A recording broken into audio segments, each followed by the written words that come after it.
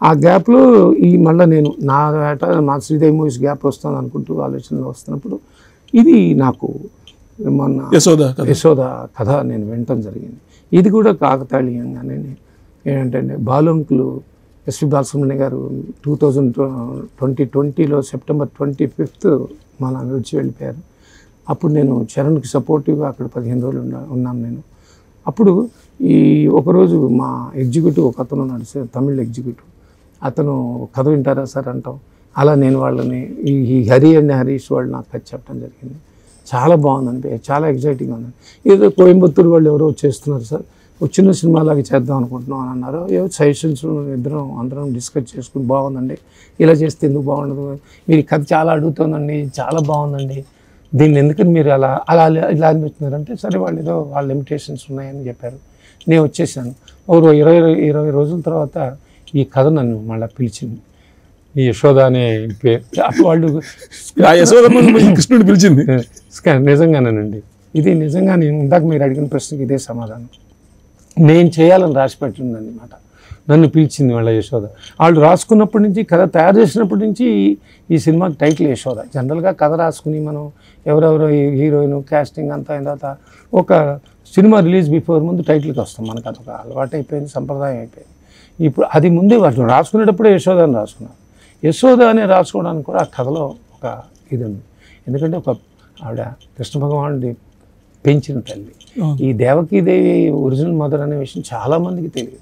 వచ్చేస్తే కూడా తెలుసో తెలియదు సో ఎస్ కృష్ణుడి మదర్ ఎవరంటే యశోద అంటారు. అట్లా మనకి అది మన ఆవిడ నిజంగా యశోద మాత అనేది ఇవాళ అంత గొప్ప ఇది మాట. సో అలా నాకు నా దగ్గరికి మళ్ళీ మీరు అన్నట్టుగా ఈ కృష్ణుడి దగ్గర. వచ్చింది. అది నాకు ఒక పెద్ద బ్లెస్సింగ్ డివైన్ బ్లెస్సింగ్ అనాలి. అది బాలుగారి బ్లెస్సింగ్ కూడా. అక్కడి నుంచి మొదలుపెట్టిన తర్వాత ఈ సినిమాను కూడా మీరు బాలు గారికి అంకితం ఇచ్చానండి ఎందుకంటే నాకు అరే బాలంకుల కోసం వెళితే ఇది జరిగింది. And the day it started. కథ అంతా తయారు చేసుకుని ఇంకా బాగా దాని కథ అడుగుతుంది. బాగా చేద్దాం. నాకు ఒక ప్యాషన్ ఉందండి. బాగా చేద్దాం. దాంట్లో అంటే వేస్ట్ చేద్దామనో పారిపోద్దాం అని కాదు. ఈ సినిమా అడుగుతున్నవన్నీ చేసుకుంటూ వెళ్దాం అంటే ప్రొడక్షన్ వాల్యూస్ బాగా ఉండాలి. బాగుండాలి. అంటే బాగా అని కాదు. దీన్ని బాగుండేట్టుగా చేద్దాం. అయ్యో దానికి అది కావాలి అది. అది ఎంతవరకు బాగా తీద్దాం అనేది తీద్దాం. ఎందుకంటే కాంపిటేటివ్గా అనుకున్నా. తర్వాత అప్పుడు మీరు అన్నట్టుగా నేను తెలుగు మాత్రమే అనుకున్నదే. అట్లా వెళ్ళిన తర్వాత ఒక లెవెల్కి వెళ్ళిన తర్వాత మహేందర్తో చెప్పడం జరిగింది. మేనేజర్. సమంత గారు మేనేజర్ మహేంద్ర మంచి కథ సమంత గారు చేస్తే చాలా బాగుంటుందని వినిపిస్తారా అని చెప్పాను. అనగానే నేను సడన్గా ఒక్క వన్ వీక్ ఆగండి సార్ తను ఆవిడ జా గోవాలో ఉన్నారని చెప్పి అన్నారు వెంటనే మాకు రాగానే మెసేజ్ ఇచ్చారు.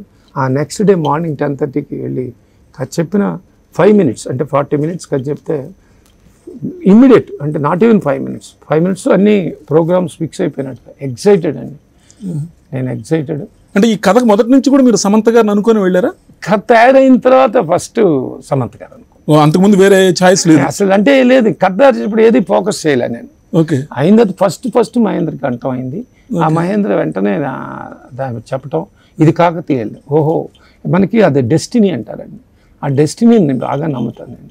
ఇది ఆ మేడం చేయాలనుకోవటం ఆ చేయాలనుకున్న ఫస్ట్ సినిమా అవటం అంటే గ్యాప్లో. ఇప్పుడు శాకుంతలం జరిగిన దానికి మళ్ళీ నెక్స్ట్ ఆవిడ అసైన్మెంట్స్ అనేవి అక్కడ తమిళంలో జరిగినాయి. అంటే మీన్ ఫ్యామిలీ మెన్ టూ జరిగింది.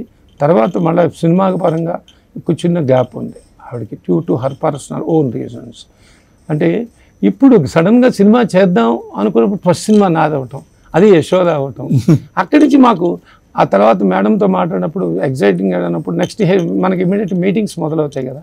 అలా వెళ్తున్నప్పుడు మేడం ఇది అన్ని లాంగ్వేజ్లు మీరు because you are now two తర్వాత మీరు ఇండియా లెవెల్లో ఉన్నారు. డెఫినెట్గా నేను అది చేద్దాం డబ్బింగ్ చేసేద్దాం మొత్తం అన్ని అని అనుకున్నాం. అని అంటే ఇమ్మీడియట్గా చేసాడు okay what is there in definitely do it అట్లా మొదలైనప్పుడు నాలో కూడా ఏమనిపించింది? ఈ ఇందాక మీరు అన్న ప్రొడక్షన్ వాటిలో కూడా బాగా తీద్దాం అనేది ఒక level when you say that it is all ఇండియాకి సంబంధించిన అన్ని లాంగ్వేజ్లోనూ సైమిల్టేనియస్గా రిలీజ్ చేయాలనుకున్నప్పుడు యాజ్ ఎ ప్రొడ్యూసర్ కూడా I have to prove myself ఇక్కడ మనం ఏదో అంటే ఒకప్పుడు ప్రొడక్షన్ కాస్ట్ పెడితేనే సినిమా హిట్ అవుతున్నమాట అబద్ధం. అలా చాలా సూపర్ హిట్ అయిన సినిమాలు ఉన్నాయి. ఇది కాస్ట్తో సంబంధం కంటెంటే ఎవరైనా చూశారు. దీనికి కొన్ని అవసరాలు ఉన్నాయే. ప్రాక్టికల్ ఇబ్బందులు కూడా ఉన్నాయి.